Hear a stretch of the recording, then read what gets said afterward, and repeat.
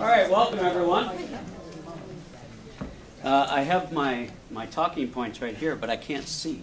I, I may have to uh, cheat a little. Uh, yeah, welcome to this year's uh, Steven Muller uh, Distinguished uh, Professor of the Arts lecture.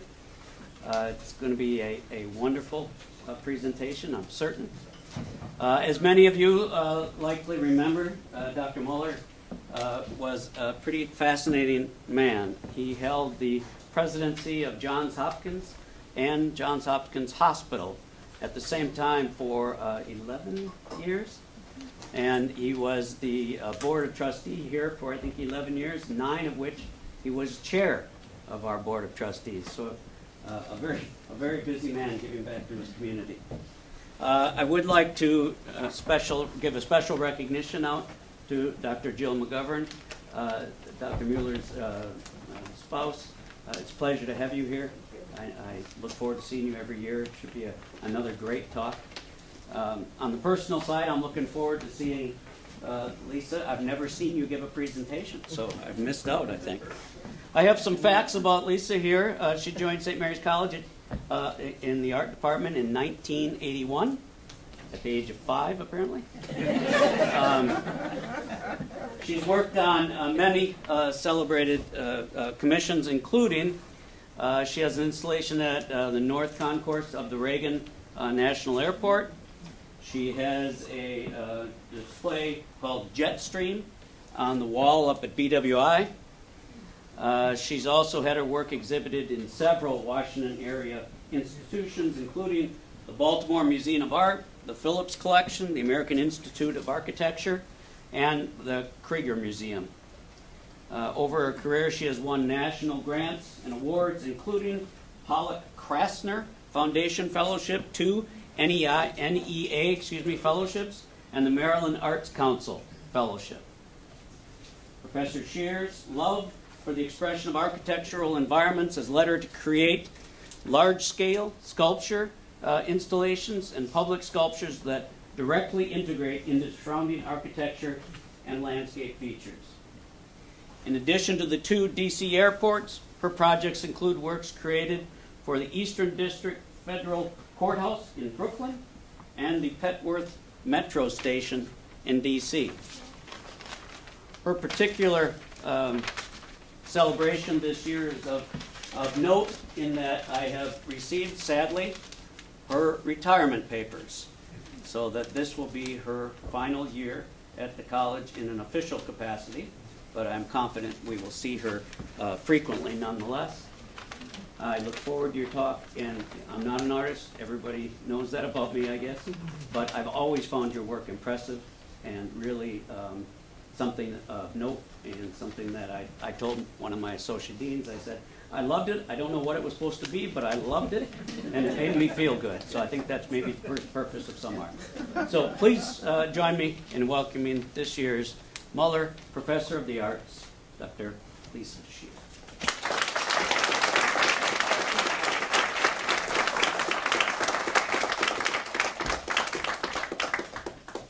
Wow. Look at everybody. um, it's so amazing to see everyone here. I can't tell you how much it means to me. Colleagues, students, alums, some came from a very far distance to be here today. It means so much to me. Uh, so let me please spend my first talk, part of my talk here just saying some thanks because I think it's in order. First, I'd like to. Oh, sure, now you It's a. It just. It just wanted to come on. uh, I will go on as they figure this out.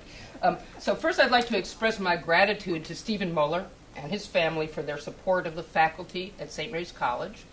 I understand I am the fifth Muller Distinguished Professor of the Arts, and all told, the Steven Muller Distinguished Professorships have sponsored research and creative work of 10 St. Mary's faculty dating back to the award's creation in 2000. In that vein, I would like to dedicate my talk this afternoon to all of the faculty of St. Mary's College. Uh, I believe Steven Muller understood when he endowed these professorships that the heart and the soul of every school is its faculty. And it has been my privilege to work with, in a way, grow up with, uh, such an amazing bunch of talented and endlessly committed teachers, scholars, and creative artists. I'm particularly honored to be given this recognition, knowing that there are many that are just as, if not more so, deserving than I. I have the power. of all the wonderful colleagues that I've had the privilege to work with, I'd like to take this opportunity, if I may, to say a special thanks to some of those closest to me. First, my current colleagues in the Art and Art History Department, who graciously put up with my loud, squawking ways Joe, Emily, Sue, Carrie, and Tristan, and Jesse, thank you. Then there are my close colleagues who have moved to new lives beyond St. Mary's, but will always remain cherished friends and meaningful collaborators Sandy, Elijah, Colby, and Billy, to name some. And finally, to those special colleagues who have now passed from this world, uh, but were people who deeply shaped and taught me what it meant to be a teacher, a colleague, and a friend. Most of you might not recognize their names, but they all played major roles in making St. Mary's what it is today. Jim Nichol, Henry Rosemont, and now John Underwood. I'd also like to take this opportunity to thank the college itself. Uh, they have given, this place has given me a home for 39 years, virtually all my adult life, and in doing so has provided me with a type of support and stable context that has made my life as an artist possible. And finally, the last but utterly the opposite of the least, I would like to also recognize and thank my husband and creative partner, Hugh McKay. Uh, much of the commission work you, I will show you today would not have happened without his skilled assistance, keen eye, and support, and what a surprise, endless patience. Thank you. so at this moment, coming here today to talk about my work turns out, as Mike said, to be extra special event for me because it is both my Muller lecture and my swan song. Because as it happens, I am indeed retiring in June, making this my 78th and final semester of teaching at St. Mary's College. Needless to say, it has put me in a nostalgic frame of mind that has me digging into old file cabinets, unearthing historic documents that include such antiquities as hand typed syllabi. I mean, hand typed with whiteout syllabi, right? Uh, uh, uh, uh which, by the way, at the time were probably like two short sentence paragraphs, if you can believe that. Okay, uh, simple affairs. Um, this taking stock has also prompted me to see if I could find some early pictures of me at the college. I didn't find much because, after all, this was well before when cell phones documented every waking moment of our lives. Uh, but here you see me. Upon my arrival at the college in the fall of 1981, in my newly acquired garb, school spirit. Uh, I was all of 25 years old, fresh from graduate school, and I will confess that I did not have a single clue as to what I was doing. Um, so here, hold on, I have to find my clicker now. Here we go. That's one thing I haven't located. Ah, important. Here I am. Another picture that I found, I had to show you, I couldn't resist okay, a feature about me in the Mulberry Tree paper from back in 1984. And if you can't imagine how long ago the 80s were, here's a reminder. Note that my feature comes above the topic of the hot Vanguard topic of the day computers proliferate. oh no. It's hard to imagine that I or the publication office thought that these images were appropriate to represent young faculty member in any way, but do check out the St. Mary's College gym shorts, and the pearls. but enough of memory lane, on to the art. There we go, the art. When I was first musing about what I might want my Muller lecture to include, I was torn. Should I talk about the, my process, the proverbial nuts and bolts of planning and building that is literally the making part of sculpture, of being a sculptor, or should I focus on the more idiosyncratic creating part of my practice by talking about the impulses and motivations that give rise to the forms I create? I solved my dilemma by deciding to split the talk into two parts and include a bit of both. This, this decision struck me as particularly apt because, in a way, it reinforces one of my core truths about being a sculptor. There are always, there's always this duality of opposing mindsets On one hand, there is the practical, real world, problem solving, drudge labor part that all art making must deal with, but particularly so with sculpture. On the other, there are the more delicate acts of imagination, getting in touch with what compels, finding form for these impulses, balancing these two things, not letting the practical overwhelm the inventive, and not dreaming up things that can't be built, is something that is an ongoing challenge for me, particularly as my practice includes the intense practical demands of large scale public works.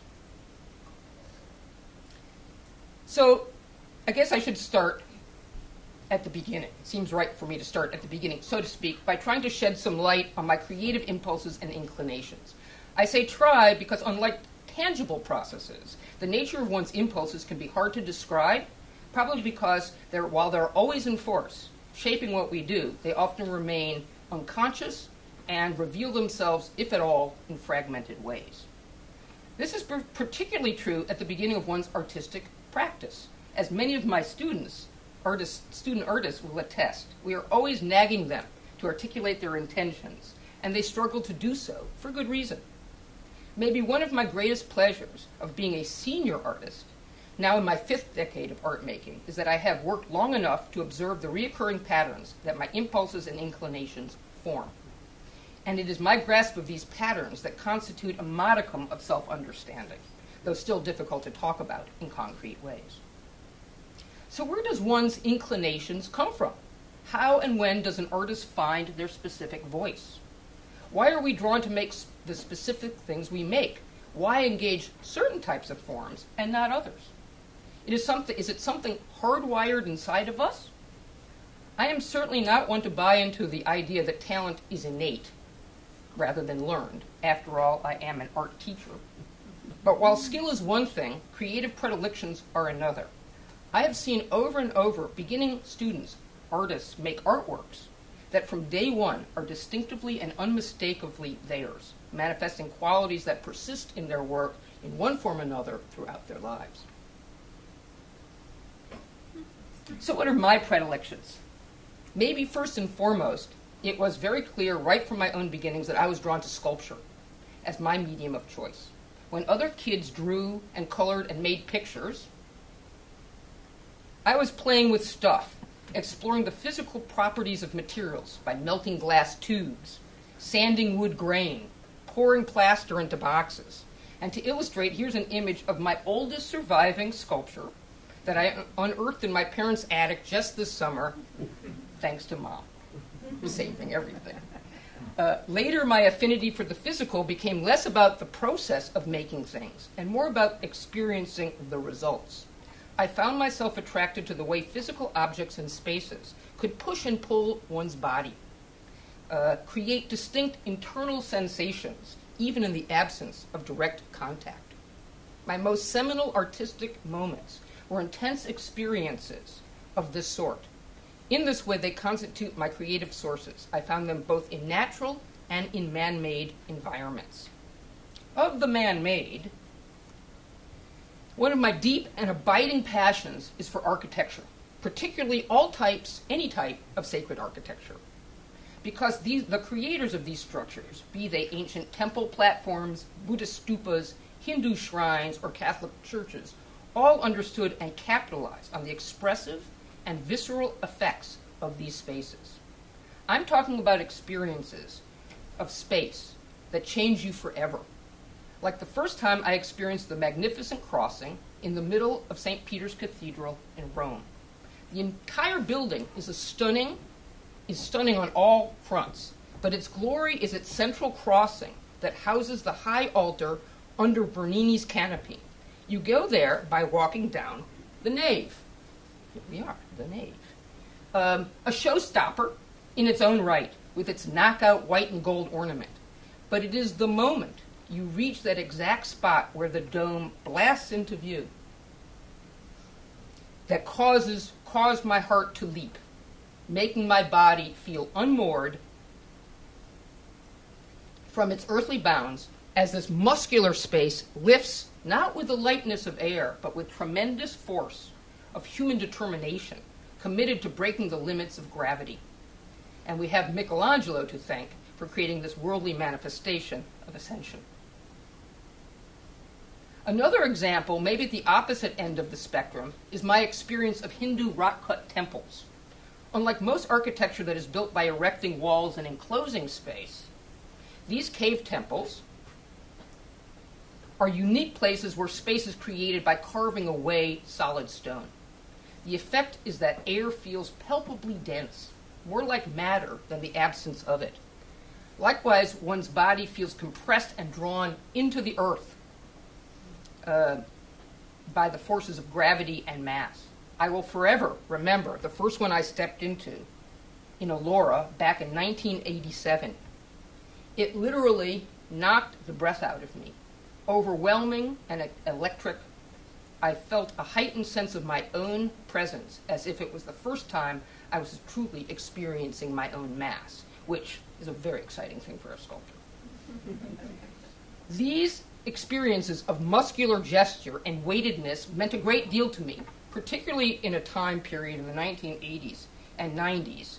It was a time when I was experiencing significant depression with a strong physical component. And although I didn't recognize it at the time, my own condition was probably what made these experiences so compelling to me and likewise formed my creative impulses.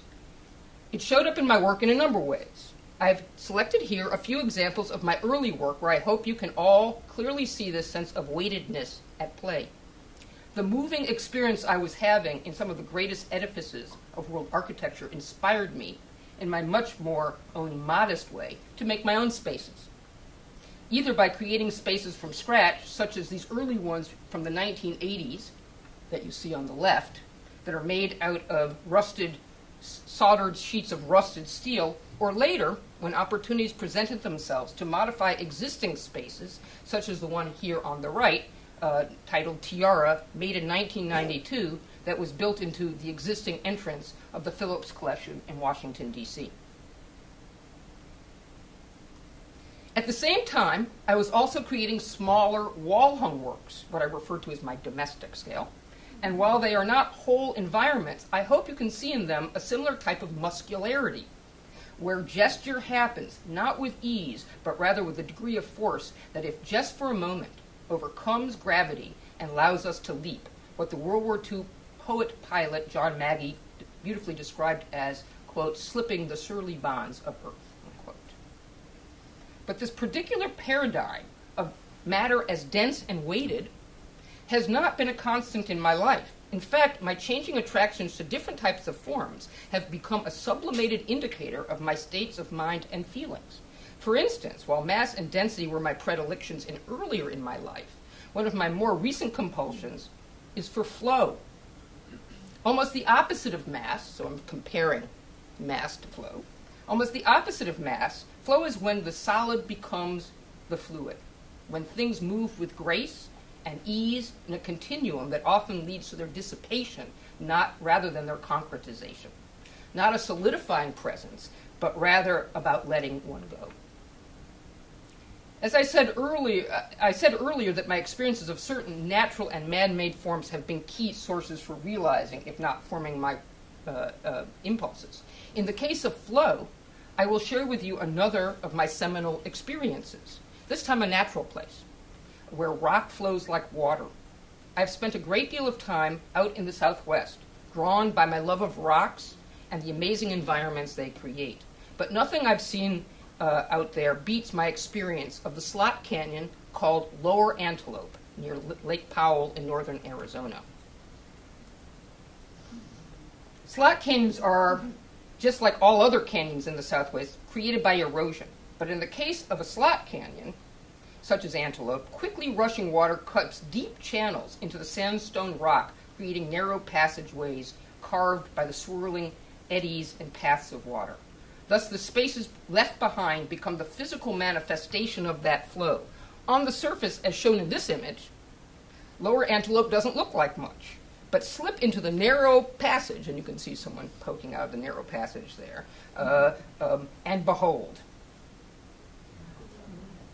you need to know that these photos are not doctored in or tinted in any way. It just looks like this.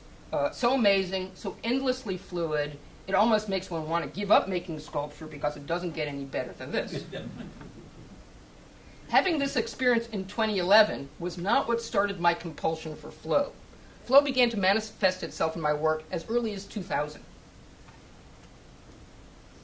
and came into full fruition about five years later. These works, uh, like my earlier ones, are still made from thin sheet metal, but now I'm using copper sheet, patinated in rich green, greens, a switch that I also think was part of my new flow paradigm, because flow for me is inescapably connected to a sense of growth and organicism in the same way that rust connects with the earth and mass.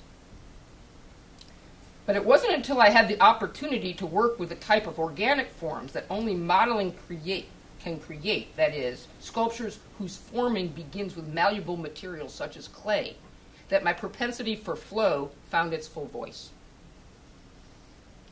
First, with these small bronzes, which I used as the occasion to coax out and develop my impulse for the sensual fleshiness of organic form. Then later, when I had the great fortune to be awarded public commissions with large enough budgets to afford creating casts, to try it on a much larger scale. The interesting thing about these works, these larger, later works, is that their display of flow is not just a quality of their form, but also an essential part of their narrative content. Beacon, you see here on the far uh, left, not right, uh, uh, was my first large bronze cast commission, completed in 2005, but designed in 2001, in a, the few months just following the destruction, the incineration of the World Trade Towers in New York, which is only a few miles from the site. Um, its flow is about reclaiming the emblematic power of the flame as a life force rather than one of death and destruction. Or Jetstream, shown on the top here, along with its other half, Slipstream, not shown here, created in 2006 for the Southwest Terminal BWI Airport, celebrates flight as a dance with air currents. Um, um, or New Leaf, here at the bottom, a sculpture that sits at the entrance of the Petworth Metro Station in DC, where both the poem and the sculpture reference the flow of time that connects transient human presence with the ever changing cycles of nature. Most of my recent work is akin to flow, but goes a bit farther. And if I had to name its material quality, it would be the ethereal or vaporous. Uh, leading me to realize, by the way, that the, tra- the trajectory of my creative life could be summed up in the arc of matter itself, from solid to fluid to gas. All I can say about my compulsion for the vaporous is that it coincides in in a, with a time in my life when personal loss is more prevalent.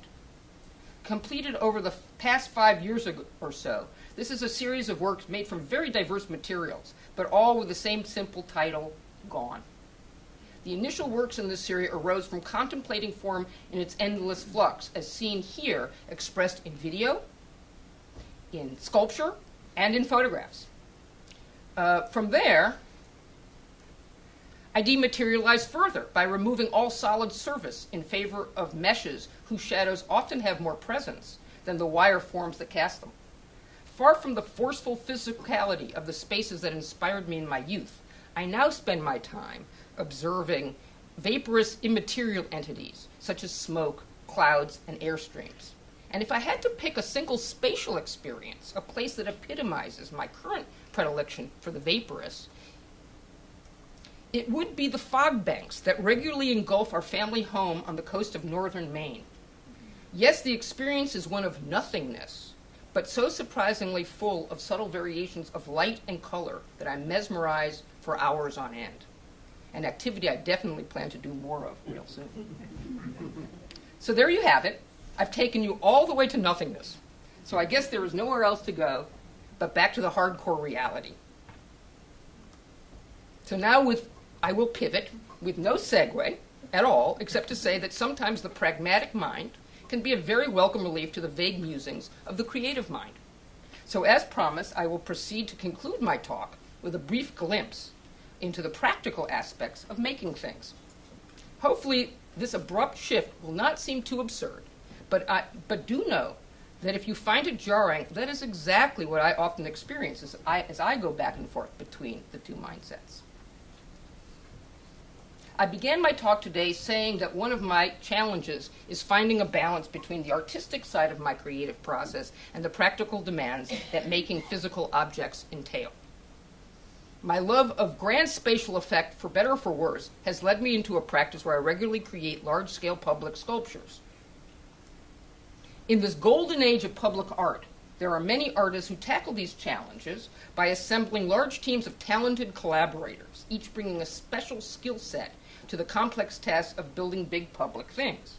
Far from the stereotype of the artist as a free soul mining the depths of their imagination, creating large scale public works can often be more like running a business uh, with project managers, engineers, lawyers, and production crews. My practice has stayed on a more DIY, do it yourself level, where I and my partner Hugh handle most aspects using the occasional subcontractor when necessary. And that means I end up wearing many hats, many of which are far from the role of artist. To give a glimpse into what creating one of these projects entail, I will walk through and illustrate the steps of one such project, the sculptures I created for the Southwest Terminal at BWI Airport in 2002. I will first skip over all the tedious aspects of the, act, the application and selection process that gets one to commission in the first place. It's the lighting, it's the ghosts, right? In the first place. I don't know if it, well, we can go on, right? Uh, uh, the first place, with the design process. I'm going to begin with the design process. For me, there are two aspects of designing that are totally intermeshed. One is establishing an overall vocabulary form, and the other is arriving at the configuration these forms will take. Both must be figured out through a careful consideration of a project's context, both its programmatic identity what happens there, who sees it, uh, what type of frame, mind frame are people in, etc. And the physical condition of its site, the architectural configuration of the space, uh, the lighting, the light quality, the way people move through the space, etc. In the case of this project, the general location for artwork at the terminal had already been predetermined, and I had to design within that given parameter. I had to first study all the potential in other projects Sometimes I have to study all of the potential art sites and propose a specific location. So in this one, I did not have to do that. Um, uh, in addition to context, there are any number of other givens, a project's practical parameters that can limit and informed design, such as budget, time frame, client's tastes, and public expectations. So here what you're looking at is one of my typical design boards where I'm collecting a number of visual images that help me develop what I'm calling my form vocabulary. Some are new to this project, while others have been in my sketchbook for years, and some are actually pictures of my own past work. Um, I've always collected images like this, many artists do, but I used to do it in a much more haphazard way. Uh, but then I realized that assembling uh, you know, making assemblages like this could serve as a very effective communication tool when explaining one's artistic uh, intentions to clients and public approval committees. Uh, in this slide, I jump forward to images of the completed sculpture juxtaposed to some of the images from my design board to give you a quick idea of what I mean by form vocabulary, building a form vocabulary. I hope this side by side comparison illustrates how my shapes and surfaces can be informed by a variety of identities, yet not literally represent any one of them. This gets to the heart of one of my primary goals as a so called abstract artist that is, to create forms that are not identity less, but rather to be able to manifest multiple identities simultaneously, never uh, settling as one item or another. As for the design configuration, I often begin by sketching. Being a sculptor that I am, I need to see things in real space, and thus I prefer sketching in 3D, not on a flat page. In this slide, you can see me following my mandate of always designing in context. I have made a simple foam core version of the terminal walls to serve as my 3D sketch space on which I pin bits of clay to begin visualizing possible options. It is a small half-inch model that allows me to see the design as a whole and not worry too early about details. I can easily make changes by cutting, adding, moving the bits around. In short, it is an approach that lets me play, observe, test, and adjust easily so my creative impulses can flow without much hindrance. Once I have the overall idea, I need to go farther into the visualization process, uh, both to test how it might look in the larger context of the space, but maybe more important so I can effectively show others how it will look. Uh, this is an added chore of public projects. It isn't just oneself that needs to understand the proposed design uh, and be convinced of its effective, effectiveness. Uh, one often needs to convince diverse types of audiences, uh, including approval committees, the general public, and even building functionaries.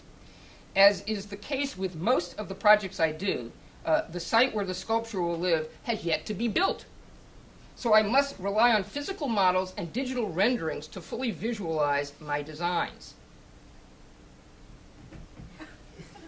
They're testing me. I've had to teach, I can, I can lecture on in any condition, everyone knows that. Unflappable. Uh, so I've had to teach myself the complex task of 3D CAD modeling, requiring advanced digital skills and the ability to read architectural plans provided by project architects and engineers. It's another test. Once the design is completed and approved, a whole host of bureaucratic functions must be addressed. You like my illustration? Bureaucratic functions. Uh, including everything from the complex process of contracting to establishing schedules to meeting insurance requirements. Beyond these administrative tasks, the work of site design collaboration with project architects and engineers must be done to arrive at things like effective lighting plans and reconfiguring site structures to accommodate the sculpture installation. Each of these tasks, often, very often, fraught in any number of ways, requires endless negotiations, meetings, and documentation. It is not my favorite part of the process. It's more like being a department chair. Enough said. Back to the art part. A next step would be to, uh, in the fabrication process, begins by creating fully detailed sculptures based on the general uh, overall concept design.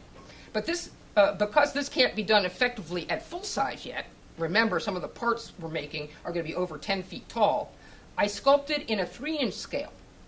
The first model was half inch scale, this is 3 inch scale. Uh, big enough to sculpt all details of the form and surface, but small enough to be able to see the forms in relationship to each other. Creating these 3 inch models is where the real sculpting happens. After this point in the process, uh, it will only be about precise replication even at this smaller size, they cannot just be made in clay. So they are first rough carved in pink insulation foam and then finished with clay details. That's what you're seeing here. Note how, again, my commitment to sculpting in context, uh, in the context of their site, uh, has, at this larger scale, required me to build eight foot wall, tall walls in my studio and add large prints of architectural features to mimic a three inch scale version of the site. These three inch scale sculptures then become the basis for reproduction at full size. The scaling up is done not by eye, but rather through a strict mathematical process where XYZ points from the 3 inch scaled version are exactly located in the full size space using relative 3D grids as a way to measure and find points. So here is Hugh using his background skills in theatrical fabrication to scale up and carve very large and dense blocks of foam that then get covered in clay to become what are called the sculpture patterns. Um, here they are finished sculpture patterns. Patterns are the final sculptural form from which molds will be taken. Here you see two of the six patterns that ultimately would combine together to form over 300 running feet of sculpture. Uh, and now they're ready to be sent to the foundry. Um, so, while Hugh is busy carving these patterns, because he doesn't let me help, no, I am not at home kicking back. I am working on details such as designing the various brackets and structural details that specify how the structure will bolt to the terminal walls. Oh, my video isn't running there. That's too bad. It's, it wiggles a little bit. Is it? Is it? Oh, it is. Okay, cool.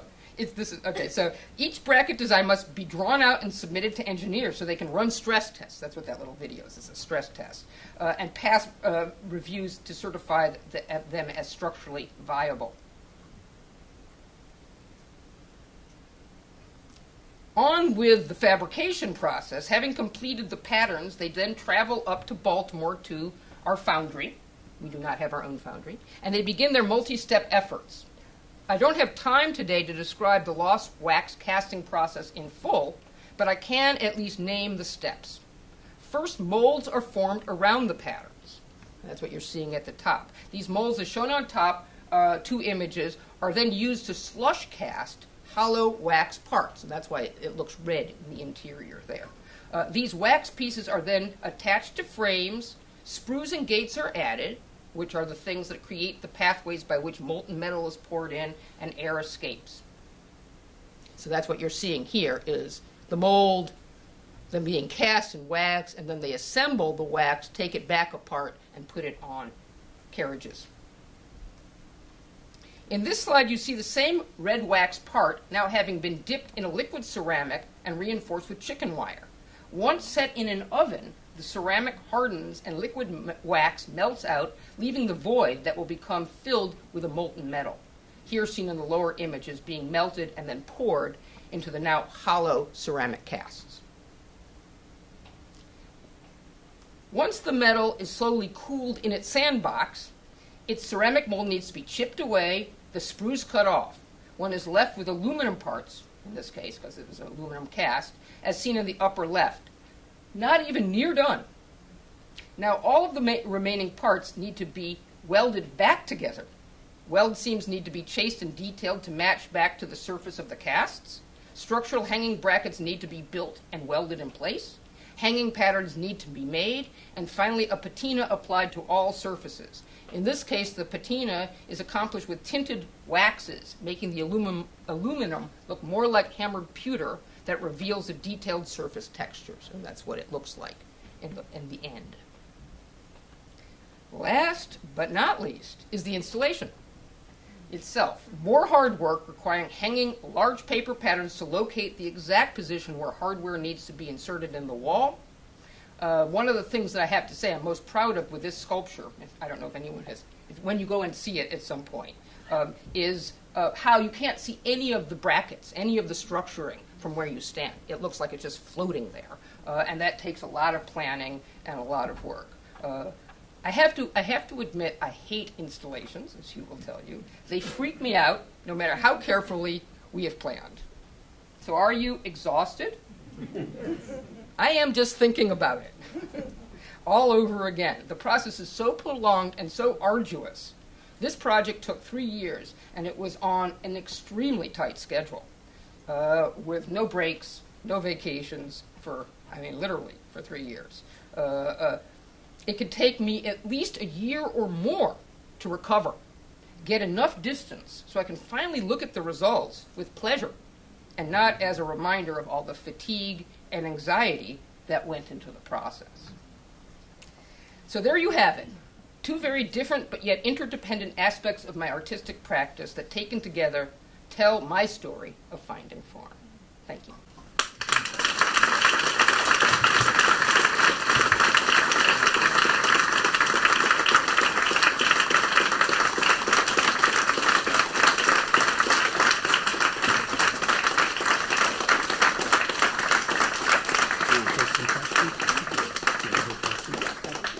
She's willing to take some questions if anyone has any. Where was the canyon that was called? It's, it's in northern Arizona, uh, near Lake Powell.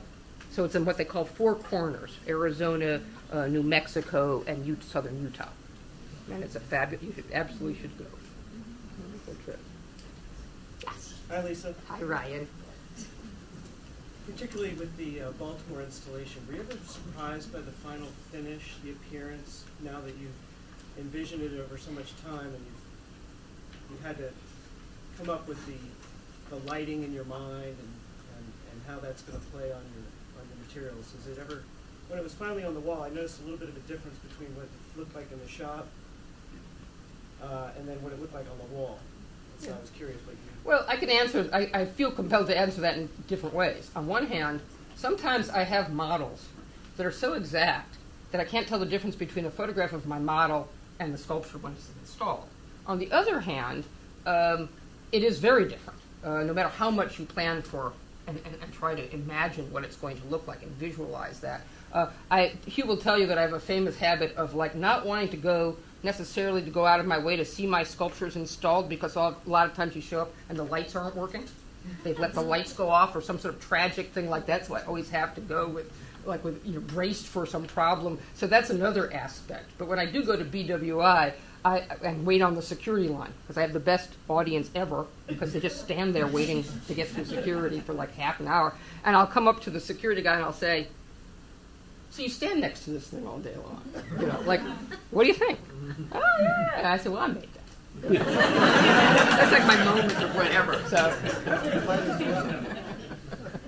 You like to fly out of BWI a lot. well, uh, now, now I do. I have recently taken a habit to it.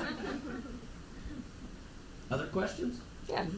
Dan. Have you ever been tempted to try out 3D computer modeling, like for virtual reality or anything like that? Well, wouldn't it be great? Um, uh, I have taken some of my smaller pieces, the resin pieces that I showed at the end. Um, I have had some of them 3D scanned, but they were scanned objects. I did not make them in the computer. And, the, and and that is, I wish I could because it would save me thousands of dollars just for that extra process. Uh, my answer would be that even though I work a great deal in the 3D CAD environment, I never feel the real object. You see view, view, view. You can rotate around it, uh, but it doesn't. It just for me, I'm old. Maybe I'm old-fashioned. I just can't quite feel it. So I've never. I've done a lot of renderings, like for instance in the BWI piece, I did that little. I did the three-inch model, but it wasn't a finished model. I mean, it, you know, it wasn't the whole building, uh, and so all I had was those renderings to know what it would look like. Uh, but I still need to make it in 3D space. At least that's what I found. Do you have a favorite part of the process? Like, do you like the brainstorming? Do you know what I'm going to say? Being done. because then you go, wow. And as I said, a couple years out, and you go back to the thing and you go, excellent. You know, like, but before that, you can't. Because it's every, I see every mistake I made. I think of every pain it gave me. Uh, so it does, and literally when I said it takes me some time to recover, it does. Do you have a favorite picture that you've taken? Do I have no? I, I can't. You know. Um, no. yes. Thank you for a wonderful lecture. I know my husband would be just delighted I'm and thrilled. would have learned as much as I have. Uh, I, I'm curious about how you get the public commissions, and to me, this means that St. Mary's College is out there in the world, and your work is out there too at the same time. So I'm just wondering how you how you are called upon to do these these works. Well, it's an interesting question because a while ago, uh, can I say in the old days, dates me, um, that a lot of times people would, you know, um, selection committees, they would, they might have an open call, or they might actually hire an art consultant to call in known, you know, so they're hiring someone to say, here, I've got a good idea of 20 or so people that might suit this commission. Now, in this day and age with the internet, the open calls are international. I was a finalist in something for downtown DC that literally had 3,000 applicants. I was selected as one of 75 finalists, and the winner was from the Netherlands. So I don't know if I would have ever had a career uh, in a way because I don't know how you have a presence when there's no loc- lo- localness. Uh, but yeah, a lot of the commissions I got had a lot to do with my work being shown in DC at galleries, and so commissioned uh, uh, cli- commissioning clients would come and see them, or art consultants that were informing the commissioning clients knew of my work. So I think that would be probably the you know the most common way that I came to that. But yes, St. Mary's is out there in the world. Yes. Is there like a common like problem or anything that you run into when you do public art a lot that happens often for you, or is it just like Can I tell the story of my most recent commission that I'm in the midst? I mean, right? I've just begun. Um, so the client is this head of a very, very large development company in Bethesda, Maryland, and they build many, many buildings. And he knows what he likes, uh, uh, and that's that. And so we got into a very protracted problem of what size. I designed the sculpture. He loved the sculpture. I envisioned it at nine and a half to ten foot tall. He envisioned it more like four foot tall. And, uh, and so there was a tremendous back and forth. And that is just an example of when, uh, um, because when you go public, it's not your own choices.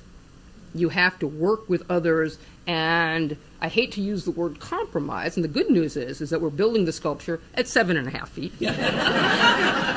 So you know and it wasn't really i tried really hard to convince him but it was actually his vice president at the development company that finally had the wherewithal to compel him and to have him reconsider his decision but yes that's the hardest part is working outside of your own head Well, I'll say to continue the t- conversations down the hall, we have a reception down in Alden Lounge, down this way and to the left. Uh, so again, please join me for one last round of applause. Thank you so much. It's fabulous. Thank you. Thank you. Thank you, everybody, for coming.